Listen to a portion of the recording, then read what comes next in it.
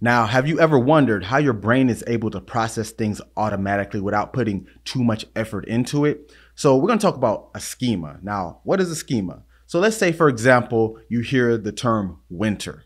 What comes to mind? You think about snow, maybe depending on where you live. I'm in South Florida, so we don't get too much of that. But it does get colder in the wintertime. You might think Christmas, that's a big holiday, or one of the biggest holidays is during the wintertime. You might think what type of clothing you may wear, what type of activities go on, ice skating, the list goes on. Now, your brain draws all these conclusions just based off of the term winter. Since it's understanding what winter is, it doesn't necessarily have to process every bit of aspect that go with it. You don't have to think, wait, is Christmas during this time? Wait, should I put on a jacket? It just comes all inclusively because your brain needs to make these jumps because we take in a lot of information every day. Some need it, some not. So we had to put focus and effort to every little bit of information we put in, we would overload kind of like a computer in a general sense, not exactly. But basically, this is what a schema is.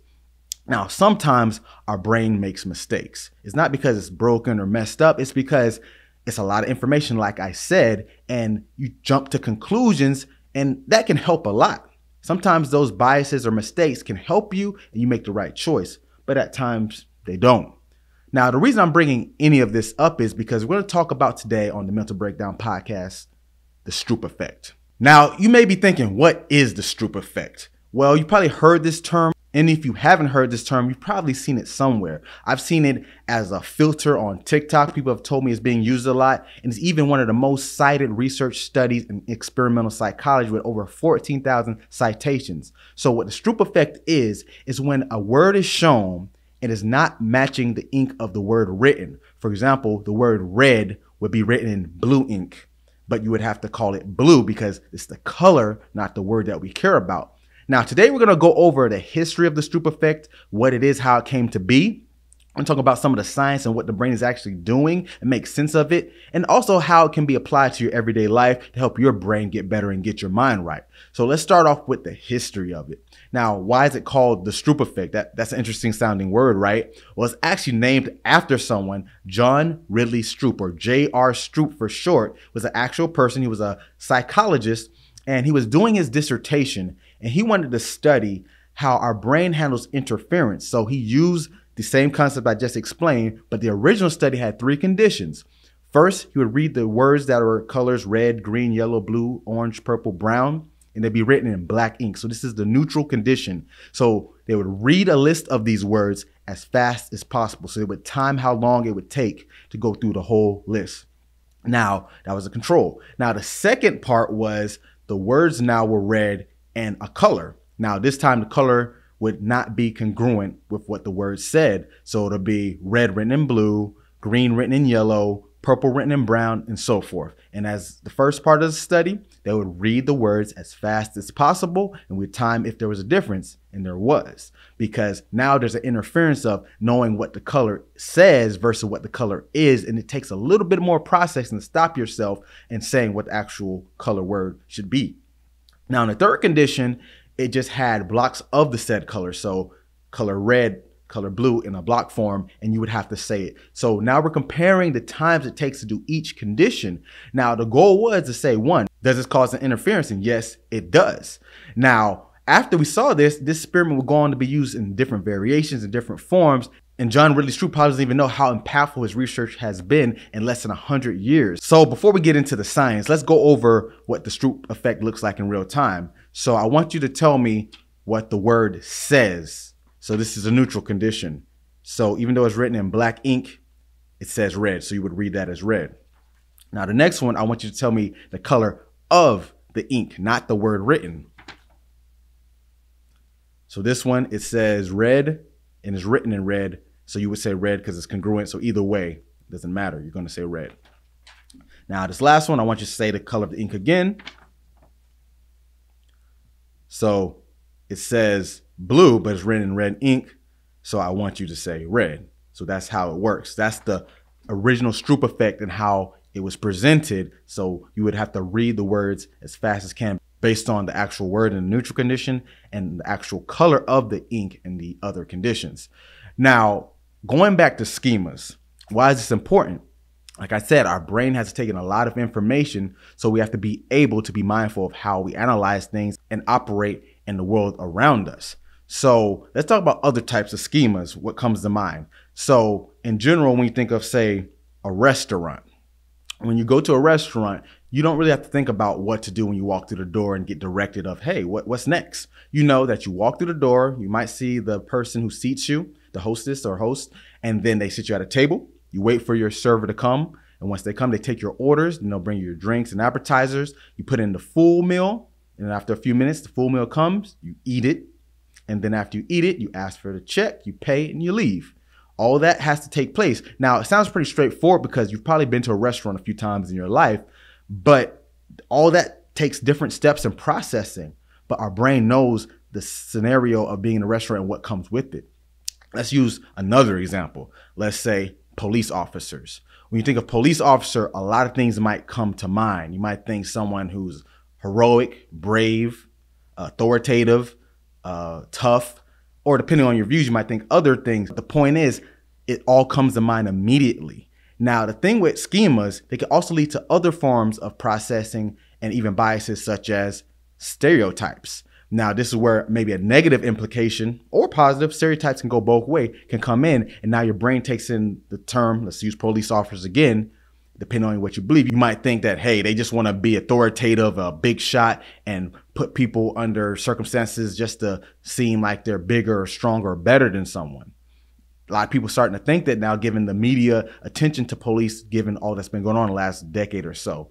Or you might think a stereotype is police like donuts. That's a, a very used trope, but my dad is actually a police officer, and I can confirm that not all police care about donuts like that. But you get the point. Your brain jumps to these. You've seen it probably in media, cartoons. You don't have to even think about it. You hear police, you think donuts. You hear police, you think high octane, high speed chases. You you see catching the bad guy, reading the Miranda rights. All these terms come to mind when you think of police. Now, when it comes to the more political side, I don't want to go too deep into this, but when people talk about, oh, they're bad, they're killing innocent people, this is a kind of bias because you think, wait, police, they carry what? Guns. This is automatically associated no matter what the police may or may have not done. But you know, a gun is dangerous. So all these connect the dots to that conclusion of, oh, they're bad police because guns, guns shoot, there's been killings. Even though that may not be the case, your brain is filling in these gaps. And you can see how this can go the wrong way. Now, there's different types of things that happen, like cognitive biases, and that one right there could be more so towards the availability heuristic bias, is when you assume the most readily available information is true because you might hear about police shootings all the time. Then, therefore, you think they happen very frequently, but in fact, they don't statistically they don't happen as much, especially with unarmed people. Yes, police shootings do happen, but not as frequently and very rare when it's unarmed people, but it does happen. But you assume it's more because your brain needs to fill in that blank. And since it knows, oh, I've heard 10 times in the last month of different shootings, and now you assume that's the norm. So, how does the Stroop effect play into all of this? So, Stroop effect is a little bit different when it comes to how it processes and how your brain takes in information. So there's different theories of why our brain slows down to interpret the words or the color. Now, one of them is the parallel distribution theory. So this reports that it happens because when we hear a word opposed to a color, it's much more frequent that we have to process reading than we do colors in real time or in the real world. How often do you go outside and say the sky is blue, the grass is green, the sun is yellow? It's something that you see, but you're not really giving too much attention to it. But we're always reading books or text or billboards, signs, whatever it may be. So our brain makes more sense of it because it knows this much more. So that's one theory of why we may process the word quicker than the color. Therefore, we have to slow our brains down and stop to then change what we need to say to say the correct color term.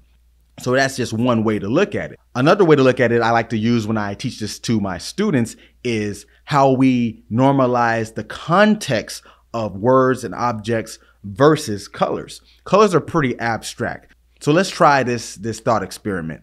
Let's say I was born blind and I've never seen anything in my life. Now, I ask you, could you describe the color red to me? Go ahead, go and try it. Now, what came to mind if you're going to tell me what the color red is? You might have said it's like fire or a rose, or an apple, hot, burning. These are all terms that I've heard and my brain knows what they mean.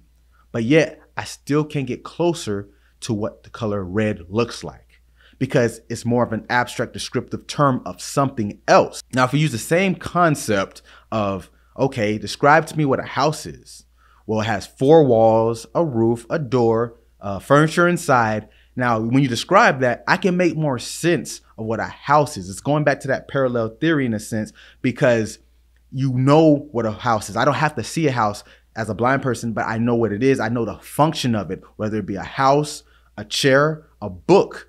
The functionality doesn't change and I can utilize those, but I never really used or had a functional use of the color red or blue or whatever it may be. So this is how I look at sometimes why the Stroop effect can take precedent and slows you down in your process. So there was a study in 2002 where they hypnotized participants to not see the actual written word as actual language, but see it as scribble. So they did the test and they saw little to no difference in the processing with most participants because instead of having to read it, they just saw the colors. So it kind of took away that interference part. It's kind of like something they did back in the 60s where they would have Russian spies read the Stroop effect in their native language because for them in Russian, they would see the words written in Russian and process the actual color word and slow down and they would think, okay, if they had to slow down on reading that word, it's because they know the Russian language. Now, if they're an English speaking person and they're not a Russian spy, they would assume it would just look like scribble to them because they don't know what Russian is or how to read it, I should say, and it would go faster. So can't really hold that too strongly, but it makes sense because if you don't have to process the actual word itself, it just would override it and then you would read the color as is without having to be interfered by the word. Now, there's some other implications with this in the real world because a lot of times we think about we hear these research studies and it's huge in experimental psychology and cognitive psychology but there's clinical aspects that's starting to get used to as well over the last few decades so there was a study where they took people with general anxiety disorder as well as social phobias and also a control group with people who didn't have any disorder and they gave them the Stroop test, but they used words where there was emotionally charged words. So this is also known as the emotional Stroop test. And the words will be relative to people who have general anxiety disorder and social phobias, as well as neutral words that were more positive as well. Now, they saw that the general anxiety disorder group were slower to process when the words were negative or associated with anxiety, but also when they were positive as opposed to the neutral words. So this may be chalked up to the fact that if you see a word that's more inducive to your stressful states or dealing with anxiety, because remember, anxiety entails worries, ruminating on thoughts that may or may not happen or things that you don't want to happen but end up putting all your attention to, you can see how this could slow you down in your processing because you're giving more effort to that word. But the fact that it were slower also in the positive words maybe because they don't use them as much. So now it's giving that attention to wait, wait, what what is this? So this is interesting to see because from an emotional standpoint, we do internalize what we read or what we see, depending on what relevance we give to it. Because in the emotional Stroop, I'll show an example. They'll show a neutral word like this one. So table is written in blue ink. Regardless, you have to process the ink color blue. And then if you give it a more anxiety-driven word like knife, and it's written in green ink, you would have to say green, but the processing may slow down because it's a more triggering or more emotionally charged word. So there may be some issues when it comes to these type of emotional studies because even though the emotionally charged word may trigger a response, they say that maybe the word length could play a factor because if there's more words, you can argue that it takes more time to process because the word is just longer. So they say there should be more implications of having same word length too. So this is just an idea and like it's making sense of how this affects our actual brain and our processing. So why does this all happen from more of a neuroscience aspect? What's happening in our brain? What's being processed that we have these lack of judgments, have these interference? So let's talk about three regions, the prefrontal cortex or the PFC, the anterior cingulate cortex or the ACC, and the ventral tegmental area, VTA. Now, these three areas play interchangeably because with the prefrontal cortex, this is the region that really makes us human. This is where we plan out goals, process behaviors, judge things, regulate emotion. So this is where we plan things out and go about doing certain tasks. So with the Stroop effect, the goal would be say the color of the ink and not the word. Now, the ACC or the anterior cingulate cortex, this is error detection. So this is making sure, wait, was I supposed to do that? So think inhibition or impulse control. Now the VTA is more so the reward center. So talk about dopamine response to motivate behavior. So in a general sense, this makes us be able to one, plan out what to do, make sure what we're doing makes sense or is correct, and getting rewarded or reinforcing said behavior or action so we know to do it again in that same way or alter it to make it better. Now, I like to use an analogy when I teach this to my students of the ACC relationship with the PFC and the VTA. So I use the example of walking your dog. So if you have a dog, you have a leash and the owner, they're going for a walk. Now, let's say the dog gets a little aggressive or rowdy, you have to restrain them. Think of the prefrontal cortex as the owner. They control where the dog goes, what it does, the decisions, how it's fed, treated, all of that stuff. Think of the leash as the anterior cingulate cortex. So it's recognizing when things aren't going right or behaviors that need to be stopped, you tug on the leash to bring them back. And think of the VTA as giving them a reward or a treat.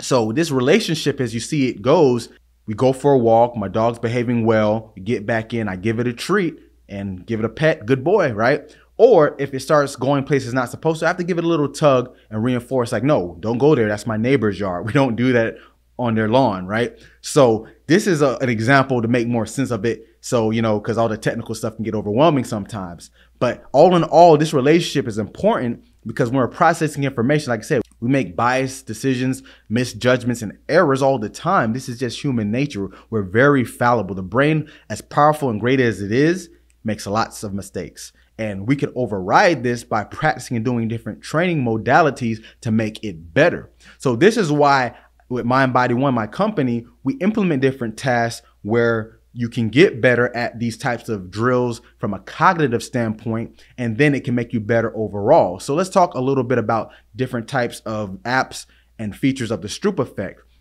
Now, there's an app called Soma NPT that I use very regularly with my clientele. This is great, has a lot of different features, not just with the Stroop effect, but over 60, 70 cognitive tasks that you can implement. It's very analytical.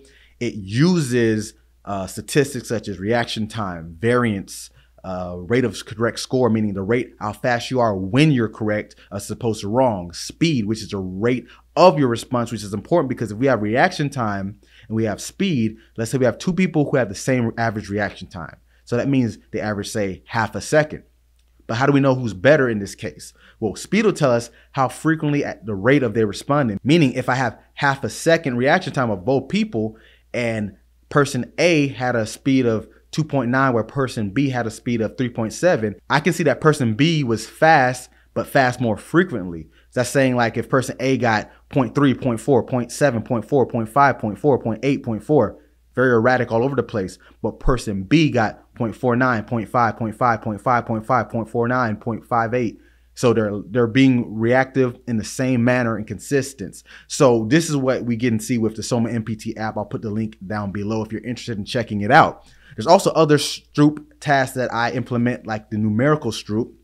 So this is one way to do it. You see the word written out four, but there's only two of them. You won't say the word, you're gonna say how many you see, which is two. So that's numerical Stroop in the word form. And also we use the number form. So you see three fives, you ignore the number five itself, the numeral, but you would say three because there's three of them. So when we do our drills of Mind Body One, whether we're working with pro athletes, military, kids, businesses, the list goes on. We implement different versions of these where we'll have them doing different tasks like the Stroop effect with either reactionary lights to respond to to have the external stimulus and peripheral vision. So you're adding more cognitive load. And we'll also do it dynamically where it'll show the Stroop color and you run to the colored cone that matches. It'll show the numerical Stroop and there'll be a color that they have to correspond to with that and say it out loud. So you're always having things go. Now, the importance of this, you could say, okay, this is cool. It gets my brain going, but why? Well, when we want to build the brain, building those neuronal pathways, getting more consistent, familiar in your processing, we can measure this and put them over a load just like with fitness. You can't just do five push-ups and say I'm strong. Just like with mental training, you can't just do a little bit of reading or do a crossword puzzle and say, I'm mentally tough or mentally efficient. You have to do tasks that actually challenge these different traits or features. Now, we go back to say, like the ACC, when you do drills like this, you're actually training that region to pick up on the different processes so you're able to analyze how consistent you are and measure that and you can get better over time. Also from a more mental health standpoint, this is a part that not many people talk about is that when we deal with things such as anxiety, worry, stress, uh, even depression, it's because we reciprocate different behaviors or lack thereof that make us less adequate or feel bad about ourselves. When we talked about the PFC, the VTA, and the ACC, you see this relationship involves setting a goal, carrying out said goal properly, and getting rewarded and keep going in a cycle of that. That's exactly what this type of training does. Granted, it's not exactly like a real life situation where you maybe get dumped by a girlfriend or a boyfriend or lose your job or have just have a tough time going. But you can simulate the stress response. And I've talked about this on my video with stress because it's perception. So if I can perceive my abilities and staying consistent and making the correct options, and even if I mess up, reinforcing that I can keep going, you're now wiring your brain to be less susceptible to errors, mistakes, misjudgments and reinforcing that you can improve. And once you get better consistently, you can see how much times can I repeat said performance, which can reinforce how confident you are and it just goes full cycle. So now you can applicably train how well you respond to external stimuli and be able to process information with the Stroop effect. Now, I know that was a lot of information and I love telling it, and the Stroop effect goes way deeper. So, if you're interested in learning more, I'll leave information down below how to get different programs like our Brain Active training program that's available now. So, you can do these different type of tasks with yourself or your clientele if you work with populations. So, thanks for tuning in. Make sure you like, comment, and subscribe. And as I always say, thank you for letting me break it down and get your mind right.